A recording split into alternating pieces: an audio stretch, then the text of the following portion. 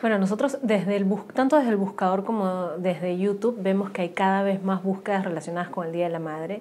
La principal evolución que vemos es que cada vez se investiga con mayor anticipación ideas, em, poemas, manualidades, muchos temas relacionados con eh, ideas para regalar el Día de la Madre. Y conforme nos vamos acercando más a la fecha, pues todas estas ideas y estas eh, ideas de inspiración para el Día de la Madre se dan desde aproximadamente cuatro semanas antes del Día de la Madre, de la fecha eh, central.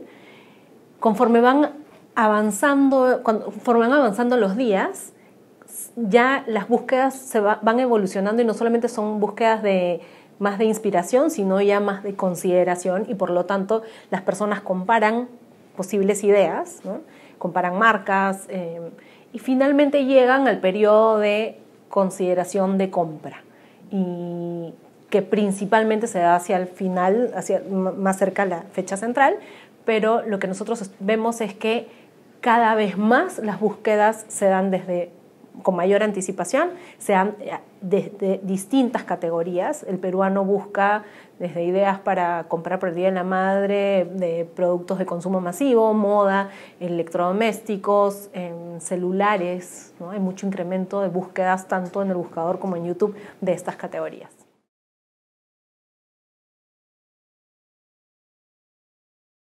Sí, nosotros lo que hemos visto año a año es que el móvil cada vez representa eh, es, parte fundamental de este proceso de búsqueda de información y, del proceso de compra en general. ¿no? Lo que vemos es que desde distintas categorías, dependiendo de la categoría, hay más o menor porcentaje de búsquedas que se dan desde móvil. En la categoría de moda, por ejemplo, nosotros vemos que más del 70% de las búsquedas se dan desde un móvil. Y claro, el móvil es ese dispositivo que te acompaña 24/7 ¿no? y que todo el tiempo tienes asequible para buscar ideas sobre qué regalo comprar. Hay categorías que tienen, o sea, en promedio, lo que nosotros vemos es que dos tercios eh, de las búsquedas en promedio, y esto, como les decía, varía categoría a categoría, pero aproximadamente dos tercios de la búsqueda se dan desde un móvil ya. ¿Y esto qué representa? Esto representa una gran oportunidad también para los anunciantes, porque es, un, es un reto para el anunciante acompañar al consumidor en todo este proceso, pero también es una gran oportunidad de permitirle al consumidor que tenga una experiencia fluida y ágil independientemente del dispositivo donde se dé la búsqueda.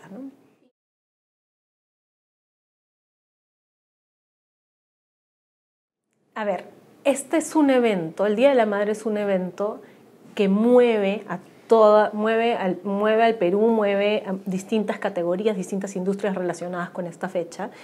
Nosotros recomendamos a las marcas acompañar a los consumidores en todo este proceso de, desde inspiración para ideas para comprar el Día de la Madre hasta la culminación del proceso de compra. El, consumidor en promedio, como les comentábamos, en promedio empieza a buscar información con cuatro semanas de anticipación, ideas, luego compara, luego eh, decide qué producto comprar y finalmente termina en, la compra o en la tienda física o en un medio eh, o en una página online. Lo que nosotros recomendamos es posicionar a su marca con este evento tan importante en el año y eh, acompañar al consumidor en todo este proceso, respondiendo a esas búsquedas que se dan en el buscador, respondiendo a las búsquedas que vemos nosotros que se dan también desde YouTube y, em, posicionándose eh, como esa marca que permite que este proceso de compra sea ágil y sea fluido independientemente del dispositivo desde donde participe.